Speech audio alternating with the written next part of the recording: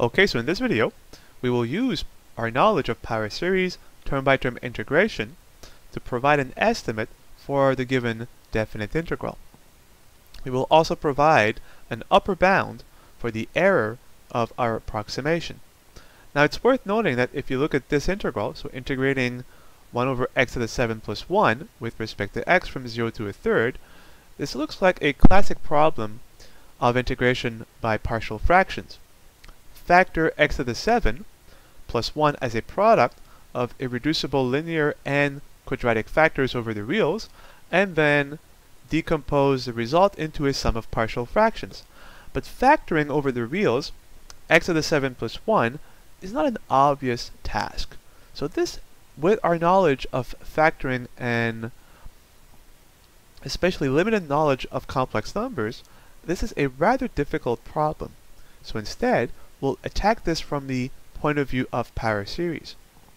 So let's try to find a power series representation first for the function we are trying to integrate. So we have 1 over, and here I will swap the two terms, 1 plus x to the 7. And what I want to use here is our knowledge of geometric series. I want to write this in the form of 1 over 1 minus r. And of course I can pull this off by doing quite simply 1 over 1 minus negative x to the 7. This now becomes my r. Thinking of a geometric series, 1 over 1 minus r will now be the series from 0 to infinity, summing r to the n. But r happens to be negative x to the 7.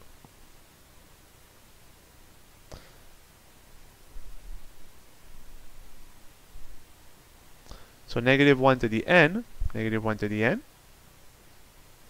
x to the 7 to the n is x to the 7n. This is of course only valid if the absolute value of r is strictly less than 1.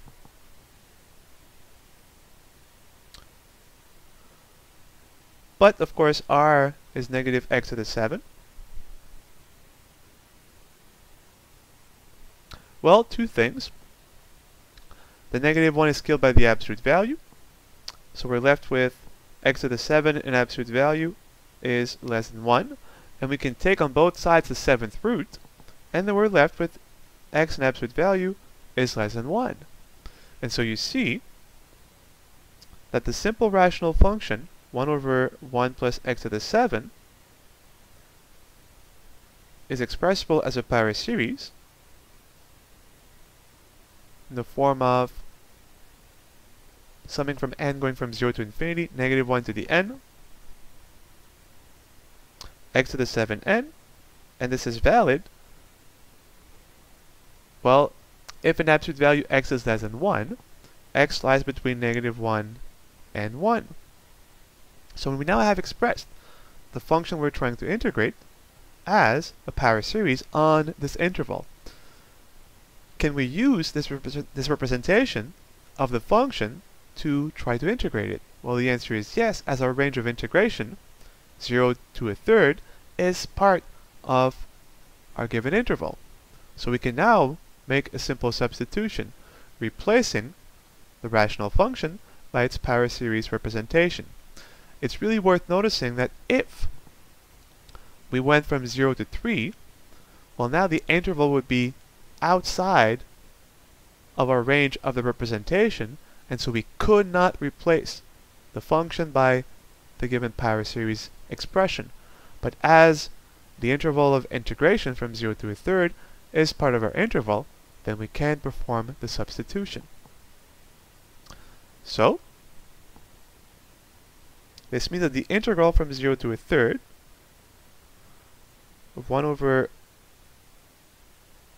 x to the 7 plus 1 with respect to x is the integral from 0 to a third.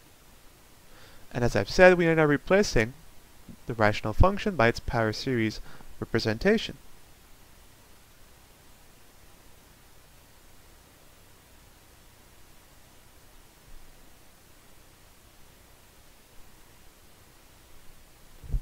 And now we can use term-by-term -term integration of the power series. The integral of a sum is simply the sum of the integrals.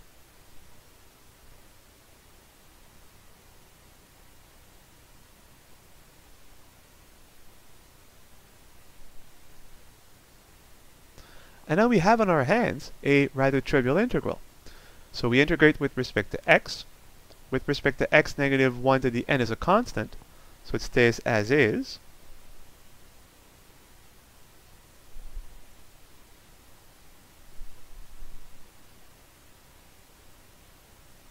And to integrate x to the 7n with respect to x, we simply have to use the power rule of integration. So we add 1 to the exponent, and divide by the new exponent. This, of course, is the antiderivative of the function negative 1 to the n, x to the 7n with respect to x. And by the fundamental theorem of calculus, we obtain the definite integral by evaluating the antiderivative from 0 to 1 over 3. So let's do so.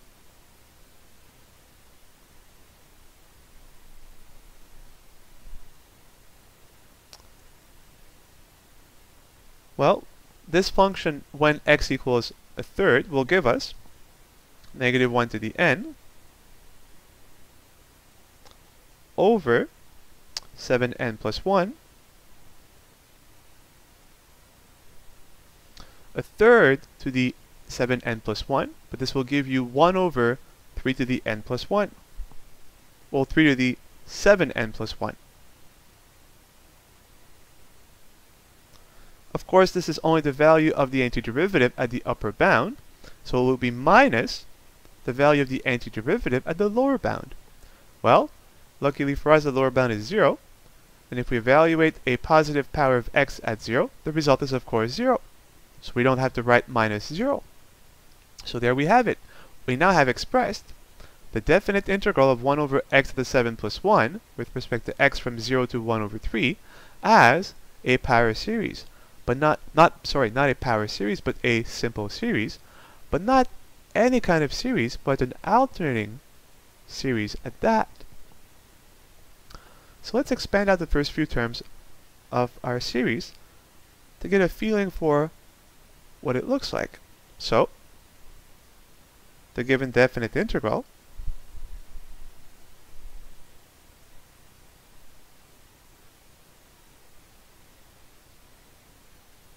is exactly equal to this alternating series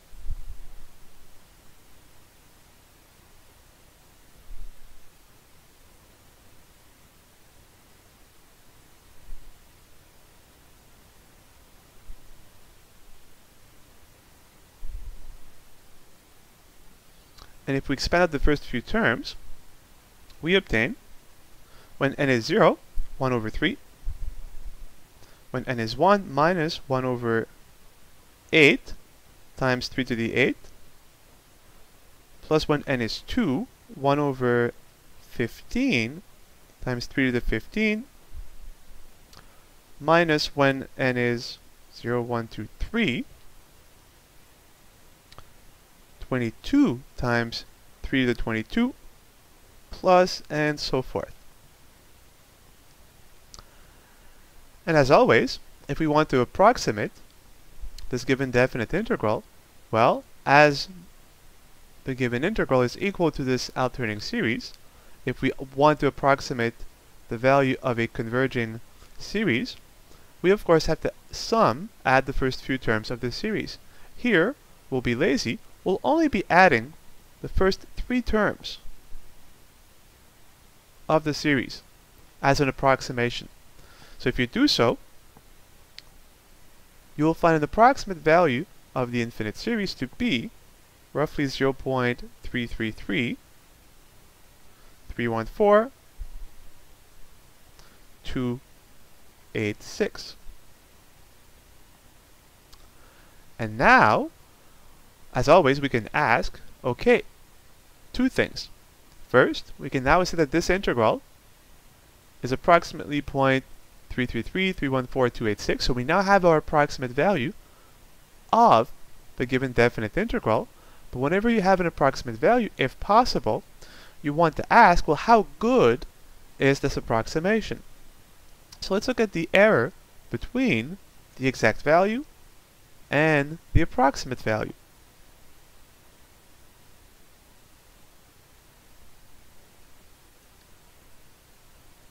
So if we look at the error in absolute value, we will look at the difference in absolute value of the exact value of the definite integral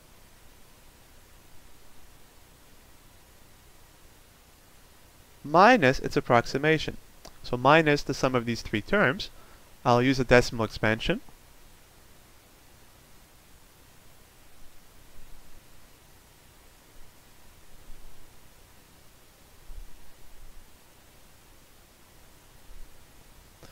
And now you say, well, how are we going to estimate, give an upper bound for the error of our approximation, right?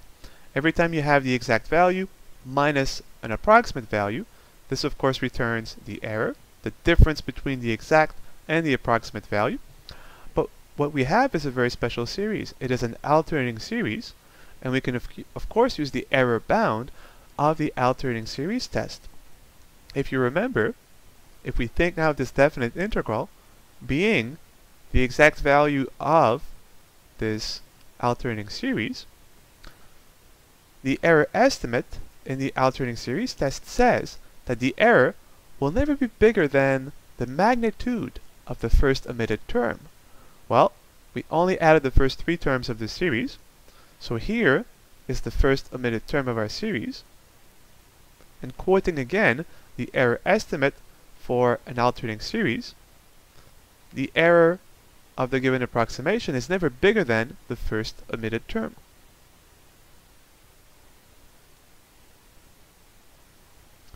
And this is a pretty small number, as 3 to the 22 times 22 is huge, so 1 over this will be really small.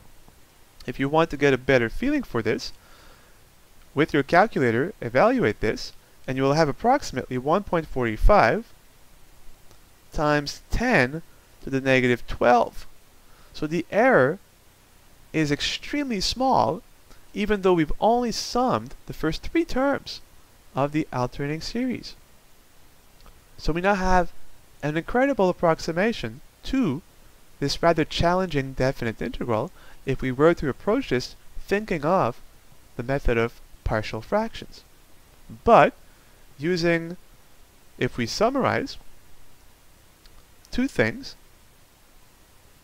the fact that we know how to handle geometric series to express the function as a power series, and now replacing in the integral the given rational function by its power series representation, we were able to integrate the power series term by term.